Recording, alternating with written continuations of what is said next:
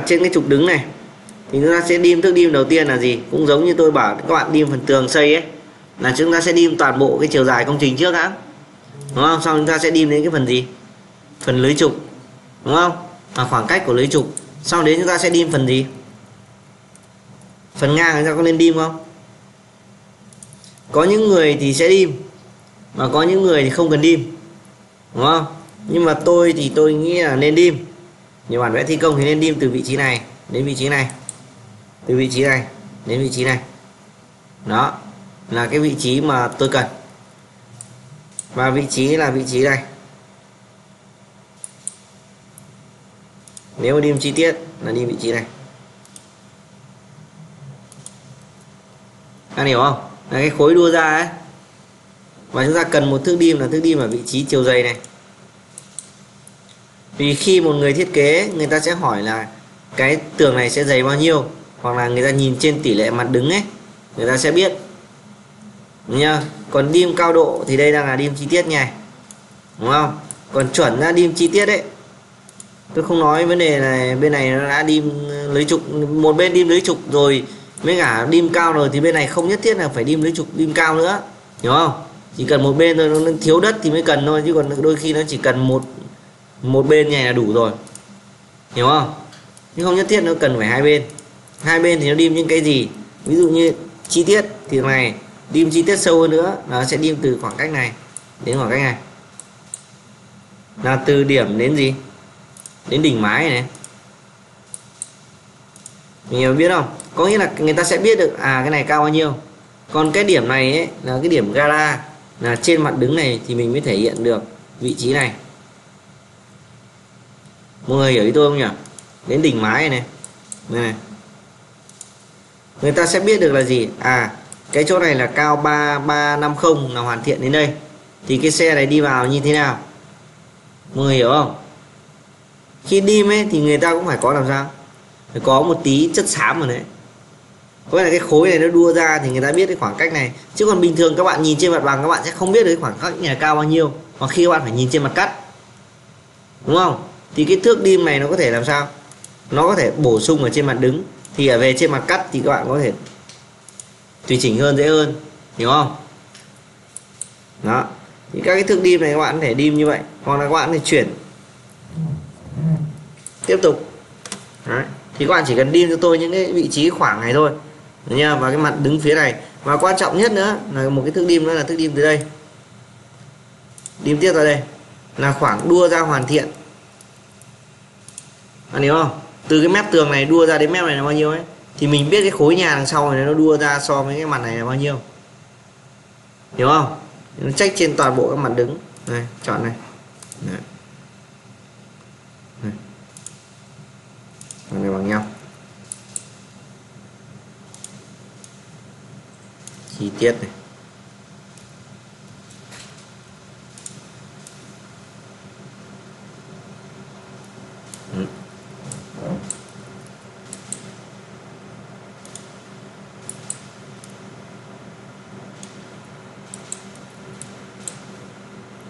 Ok bên này thì vậy là ok rồi chi tiết. Cần bổ sung thì bổ sung từ điểm này. Đến điểm này. Đây nè. Đến mái. Hết.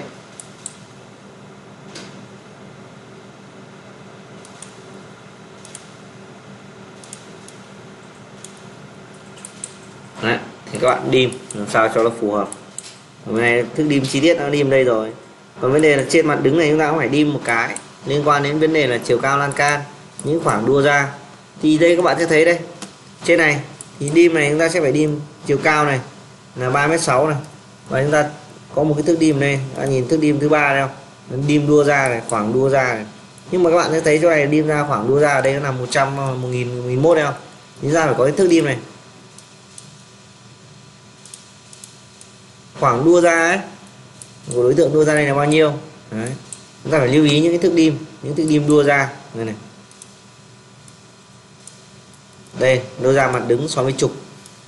Thực ra cái trục này có cũng được, không có không sao. Được nha. Ừ, hai thước dim này đang trùng nhau. Được nha. Có này thì thôi, không cần cái này. Được nha. Còn có này, một men mốt này, nhưng mà một men mốt này nó khác với một men mốt này một men mốt này là trục. Còn một men mốt này tịnh tiến ra. Hiểu không? Khác nhau đấy. Ừ.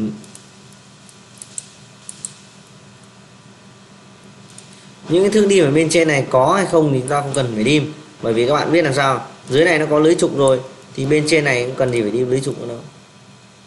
Đúng không? Cái này có nó bằng thừa, chẳng có tác dụng gì nha. Thước đim tổng thể có rồi. Thì chúng ta chỉ cần một cái thước đim tổng thể cho cái vị trí mái này thôi. So với thằng này là tổng diện tích dưới vài khu đất. Còn chiều dài của cái nhà này là bao nhiêu? Thì ta sẽ nhìn đây là tổng diện tích của chiều dài của thằng này là ok thôi. Hiểu không? Đó.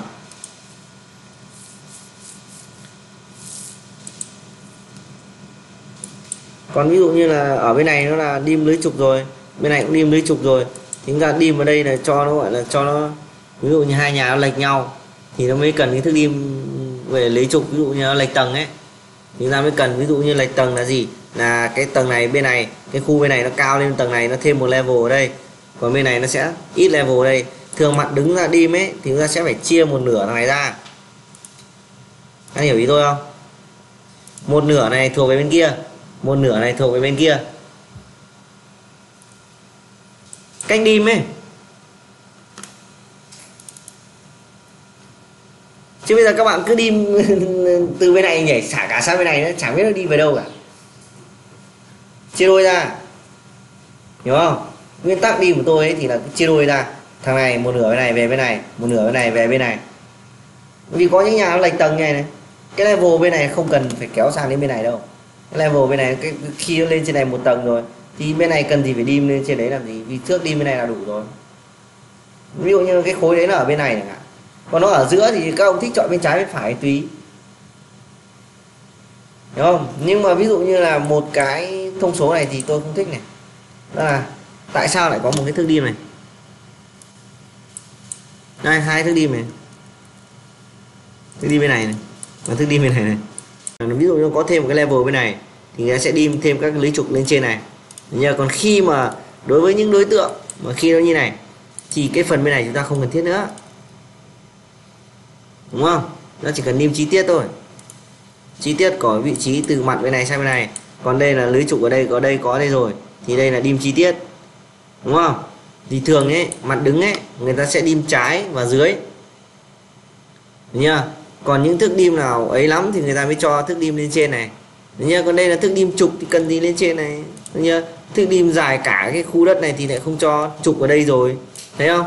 Nó bị lộn xí ngẫu lên cái đánh nhẽ cái thước đim này nó phải nằm ở dưới này này. Hiểu không? Đây này, pick này. Ở đây này, bỏ cái thước đim này đi. Này. kéo nó về đấy để bỏ nó đi. Này thước đim tổng thể có cái đất này đúng không? Chọn đây này thì cái quan trọng nhất là cái gì? Là cái đim của cái thằng này, cửa này thì đéo đim làm cái gì? Đi làm gì? Đim quan trọng nhất là đim cái thằng này lại không đim này. Đấy nha đim thằng này nó lại bị sai. Đấy nha nó phải là một mét. Đấy. Nó phải tròn nhỉ? Đúng không? Nét như này là bẩn này. Có thấy không?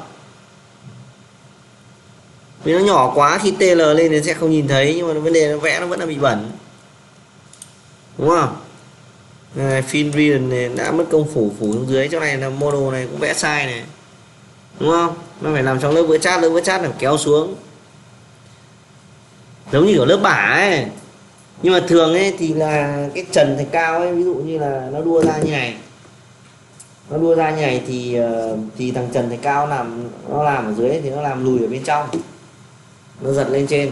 Xong ở chỗ này nó có cái gờ móc nước ở dưới này. Để nước nó không chảy vào trong còn nếu mà làm theo kiểu này ấy, là cái nước nó sẽ chảy vào, nó chảy vào trong thạch cao ấy. Mà thạch cao sẽ rất nhanh bị hỏng. Có hiểu không? Có hiểu cấu tạo không? Ngơ hết ừ. đây này. Vẽ ra đây này. Thì ví dụ như cái trần thạch cao, ví dụ đây là cái dầm vẽ đây là cái dầm nhá. Này. Đây là cái dầm đúng không? Thì bình thường là ở chỗ này nó sẽ có một cái gờ móc nước ở đây, đúng không? Đúng không? Thì cái trần thạch cao nó sẽ nằm bên trong này này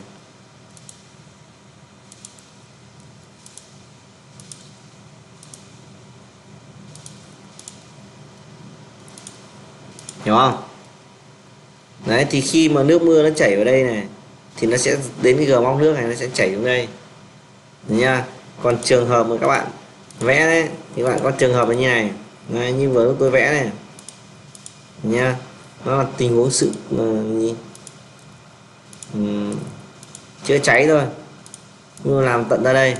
Nha cái này chỉ thợ thì cao thích làm. Bởi vì sao bạn biết không?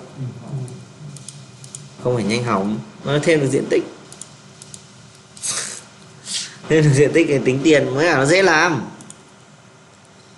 làm bên trong này nó phải đút cái khe này phải cắt cái tấm này. Nó phải ấn nó vào nó bắn để nó lấy cốt phẳng so với thằng này mà chưa chắc cái thằng trần thằng chát trần dưới này nó đã chát phẳng. Hiểu không? Và làm như này ấy, thì nó có một cái là là thằng nước này nó chảy vào đây này. Nó sẽ ngấm vào thạch cao này. Các hiểu không? Cái sơn bả này nó chỉ sơn bả che được cái phủ cái bề mặt này được một thời gian thôi. Và nó sẽ bị nứt ở vị trí này vì hai cái phần vữa với cả phần thạch cao này nó sẽ co ngót, không giống nhau. Hiểu không? Còn nếu mà chúng ta làm một cái tấm ở bên trên này. Mọi người có hiểu không đấy? Đây, nếu mà mình không làm như này, mà mình làm tấm như này, thì một thời gian nó vẫn nứt ở chỗ này. Nếu mà chúng ta làm tấm chịu nước, tấm nó cứng nó cứng như bàn này. Thấy không? Thì nó chịu nước mà. Đấy thì thường các bạn cứ nên là nên ờ, làm cho tôi như thế này. Để làm sao? Vì chỗ này nó sẽ có gờ móc nước ở đây. Có một chi tiết ở đây. Nha. Nha, và chúng ta phải trích chi tiết cái gờ móc nước này ra trên cái mặt cắt của ban công. Các bạn hiểu không?